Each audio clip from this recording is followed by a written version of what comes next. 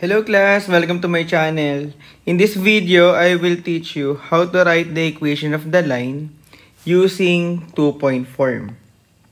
So, ang formula natin for two-point form is y minus y sub 1 equals y sub 2 minus y sub 1 all over x sub 2 minus x sub 1 times x minus x sub 1. So, dito guys, yung x sub 1 and y sub 1 yan yung coordinates ng ating first point.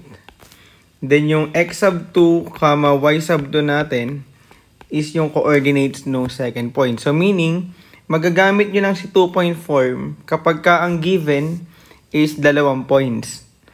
Okay?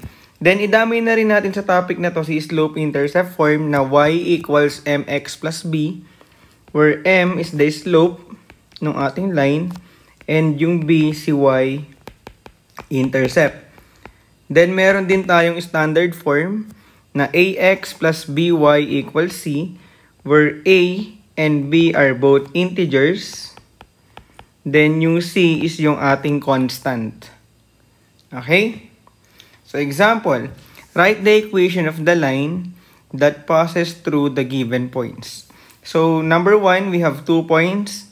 The first point is 10, comma negative 4. And yung second point is 8, 6. So since ang given dito is 2 points, then we are asked to find the equation of the line. Ang magagamit nating formula dito is yung 2-point form na y minus y sub 1 equals y sub 2 minus y sub 1 over x sub 2 minus y sub minus x sub 1 times x minus x sub 1 where x sub 1 and y sub 1 is yung first point natin which is 10 and negative 4 respectively. So ito yon. Then ang x sub 2 natin is yung 8. Then ang y sub 2 natin is yung 6. Then after natin ma-identify yung mga given natin, pwede na nating i-substitute dito sa ating formula. So y minus y sub 1 which is negative 4 equals y sub 2, we have 6, minus y sub 1, that is negative 4, all over x sub 2, we have 8, minus x sub 1, which is 10, times x minus x sub 1, and this is 10. Okay? Then after natin masubstitute yan guys, is isi-simplify natin yung ating equation. We have y plus 4 Since two negatives, di? Negative times negative, it gives you positive. Equals, again, we have two negatives, so that is 6 plus 4 over 8 minus 10 times x minus 10. Ang next move natin is combine like terms. So we have y plus 4 equals 6 plus 4, that's 10 divided by 8 minus 10, we have negative 2 times x minus 10. Okay? Then 10 divided by 2 is negative 5 times x minus 10. So itong equation itong equation na to is pwede ng final answer since ito ay point slope form. Okay? Ang tawag sa equation na yan ay point slope form. Yan yung topic natin dun sa, sa previous video natin. Then, gagawin natin is i-rewrite natin itong equation na to to slope intercept form. So, para magawa yon move tayo. Distribute natin si negative 5 doon sa kanyang binomial.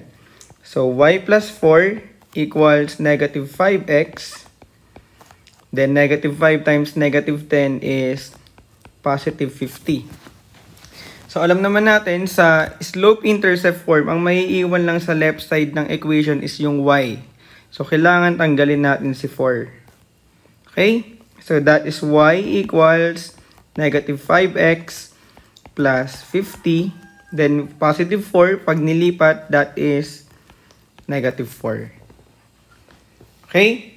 Then combine like terms, we have y equals negative 5x 50 minus 4 is 46. So, itong equation na to ngayon, ito yung ating slope-intercept form. Okay? So, pwede na natin ma-identify si slope dyan. Ang slope natin is negative 5. Then, ang ating y-intercept is 46. Okay? Then, what if naman is pina-convert pa sa atin or pinare-write sa atin yung slope-intercept form to standard form. Ang standard form, guys, yung x and y natin is nasa left side ng ating equation. So, dito, ililipat na lang natin yung negative 5x dun sa left side.